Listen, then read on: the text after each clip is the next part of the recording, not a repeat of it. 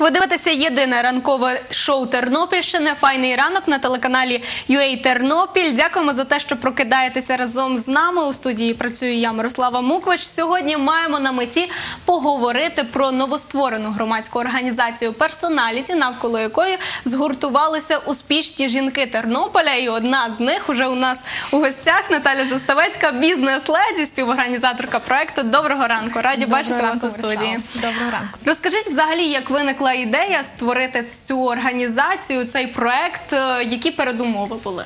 Ви знаєте, мабуть, зараз має прозвучати якась така дуже е, красива історія, як там все підводилось до цього. Насправді банальніше, я можливо вас в чомусь розчарую, е, тому що е, фон, саме фон, яким, е, який нас спонукав до заснування організації до створення, він дуже простий, е, нерідко, і, е, мабуть, ви це теж бачили, зустрічали. Е, є такі моменти, коли людина просто. Начебто має всі можливості, але їх не може е, закумулювати і не може використати. Їй бракує поштовху, ніби віри в себе. Це дуже так банально звучить, коли там ти віриш в себе, віриш в себе. Ну я б не хотіла якось розмінюватися на якісь банальні речі, але тим не менше цей момент е, він. Десь глибоко всередині він виходить від нас е, зсередини. І е, та думка вона вже гнітила мене дуже давно, бо я сама належу до таких людей, яким потрібен поштовх. Хоча ззовні, можливо, це не здається. Я виглядаю дуже впевненою. Можливо, виглядаю впевненою, але тим не менше це є. Е, ось і моя колега Оля Петришина, вона Так. власне була ініціатором заснування самої організації. Е, мабуть, на тому тлі, що вже в мене були ці думки, вона вчасно прийшла з своєю ідеєю, і ми так зійшлися в думках. У нас є три співорганізатори: це Іра Тимків, Оля Петришина і я. І власне сама організація вже почала функціонувати так доволі активно. Ми насправді не сподівалися на такий фідбек. Е, Дуже вражені тим, що е, гарно зайшла організація, і вже ці е, заходи вони мають, мають попит. Мгм. То з чим загалом займається організація? Е, Яка її мета е, і специфіка цієї організації? Е, В першу чергу мета це допомогти людині повірити в себе і зміцнити власну персоналіті. Тому що ми говоримо про те, що кожна людина є особистістю, це прекрасно, але нерідко є такий стан людини. Е, Десь загубленої в собі, коли людина починає звинувачувати все навколо, починаючи від держави, закінчуючи від близьких мені людей, в тому, що в мене виходить щось не так. Так, от мета персоналіті допомогти людині цю, е, цю внутрішню силу витягнути і дати їй поштовх розвиватися, тому що це дуже різні заходи. Це починаючи від якихось тренінгів, е, від мотиваційних робіт і закінчуючи практичними. Заходами, де людина має можливість переконатися в тому, що вона це може. О, От і все.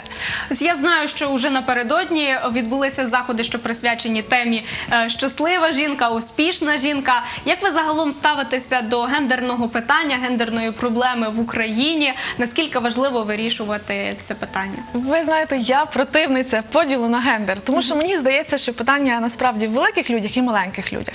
Е, Коли ми говоримо про те, що хтось когось там недооцінює, це питання певного свідомості цієї людини. І тут не питання в чоловіках і жінках. Е, Людина, я пригадую просто свій момент, коли я ем, йшла до заходу з дисертації, і старесенький професор, якого я не то, що.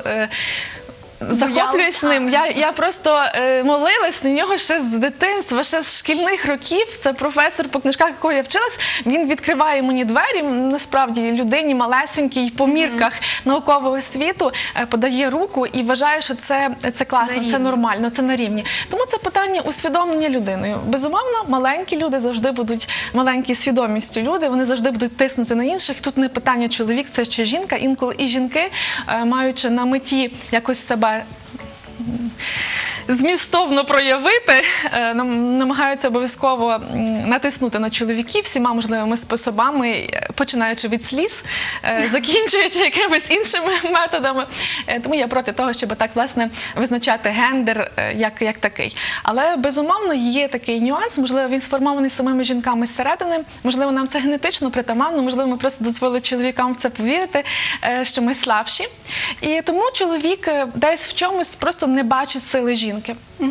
Я не думаю, що це така глобальна проблема, і вона в першу чергу пов'язана не з жінками, а чоловіками, як на мене. Ми вже трішки згадали про успішних жінок, так побіжно. Хто ж тоді така насправді успішна жінка? Чим вона займається, е, як себе несе цим світом і так далі? Я буду теж протистояти проти поняття успішної жінки, тому що мені здається, це власне не було завжди в мене вкладено. Я дійшла цього буквально за останній рік, в тому числі завдяки персоналіті. Е, Ми маємо стереотипність. Просто прийшла мода на успішних жінок. І е, ця мода сьогодні знов створює якісь блоки в тих жінок, які там, не скажімо, не мають бізнесу, чи не мають е, роботи, чи можливо вони сидять вдома і виховують діток. Вони абсолютно щасливі люди, вони себе присвятили чомусь іншому.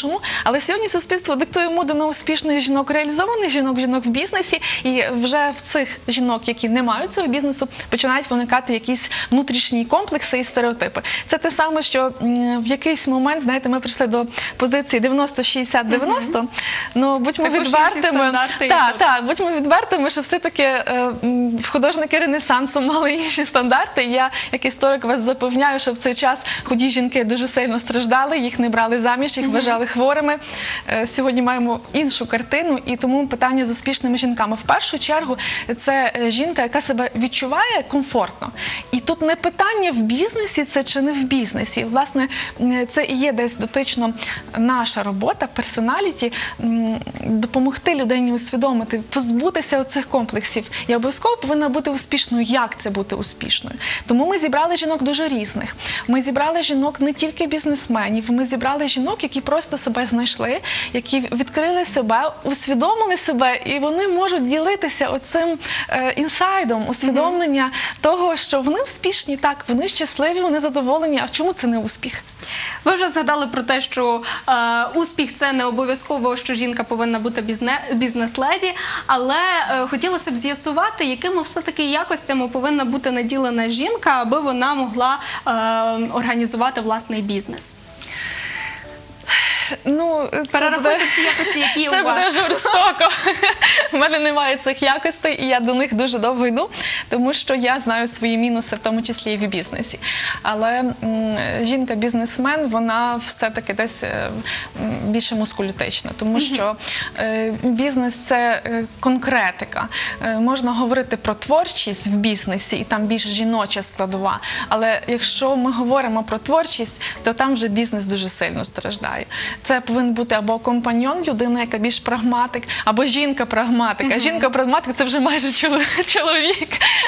Все-таки нам дано більше такий якийсь е, ну, момент е, такого натхнення, так? ну, генетично, мабуть. І тому ці одиниці, які надзвичайно гарно. е, Упорядковують бізнес, е, це все-таки жінки практичні, чіткі, жорстокі в якийсь момент. Вони жорстокі, в тому числі до себе жорстокі. Тому що, е, знаєте, жінка вона повинна займатися сім'єю, чи не повинна займатися сім'єю, займатися собою. Тобто є така картинка, навіть в інстаграмі я десь її бачила, коли на старт на старті чоловік і жінка, чоловіка пряма дорога, а в жінки там так і діточки сидять, і якесь там готування обіду, і е, одяг, і прання.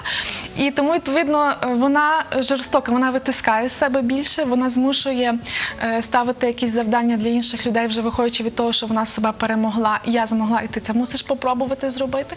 Вона вимогливіша. Вона обов'язково з якимось таким відчуттям вини перед людьми, перед сім'єю, тому що все-таки це відчуття, з ким би я не спілкувалася, воно присутнє в кожної жінки. Е, Що я десь там забрала цей час від своїх дітей, від свого чоловіка, е, від себе і даю його от в- бізнес, в справу, яку розвиваю. Це класно, коли виходить, і дуже сумно, коли не виходить. Бо це вже два таких прольоти. Мало того, що ти. е, і там- Гнітиш себе, то ти ще й тут не маєш якогось такого е, вибуху. Я ще хотіла з'ясувати, ви вже побіжно згадали про сім'ю. Якою ви собі уявляєте ідеальну традиційну сім'ю? Е, Я скажу свою суб'єктивну думку, слідкую за вами в інстаграмі і вважаю, що у вас дуже прекрасна сім'я. Ви нещодавно створили е, відео, е, фільм такий навіть коротенький про свою сім'ю. Розкажіть, які обов'язки у е, кожного члена сім'ї і як загалом повинна виглядати традиційна українська сім'я? Я буду знову з вами сперечатися, тому що я проти традиційності в поняттях. Мені здається, що коли ми говоримо там, як повинна виглядати жінка, як повинна виглядати традиційна сім'я, ми е, дуже багатьом людям навішуємо якісь ярлики і стереотипи. І людина починає себе рівняти, а нерідко людям потрібні якісь орієнтири і бачить десь в себе чогось бракує, щось не так, є ж, наприклад, Втрачає неповність. самооцінка падає, І так і тоді намагається людина вона від від цих от стандартів е, тільки гірше о- одержує. В моєму моєму випадку це теж, до речі, не традиційна сім'я, як на мене, тому що е, це зараз модно мати багато діток. І Коли в мене, е, коли ми планували третю, третю дитину, то це вже було не традиційно, тому що був якийсь певний суспільний стереотип, що це ну це вихід за двох діток за стандарти, і це вже був якийсь перелом. Е, Тому я не можу сказати, що саме традиційна сім'я це коли багато діток, це коли якісь там цінності. В першу чергу сім'я це коли всі живуть в любові і коли люди поважають одне одного. Це та цінність, яка не вийде з моди.